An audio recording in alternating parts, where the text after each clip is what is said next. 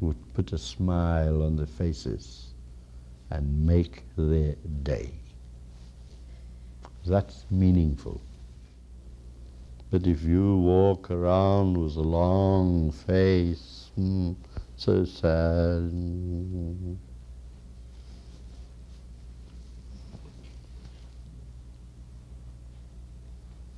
it would be meaningless to the purpose of your life.